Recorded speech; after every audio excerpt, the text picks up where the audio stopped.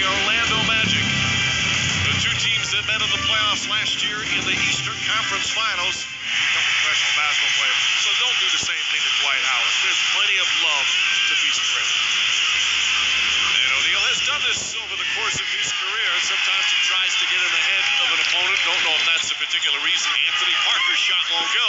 O'Neal the offensive rebound. Couple of fakes and throws it down right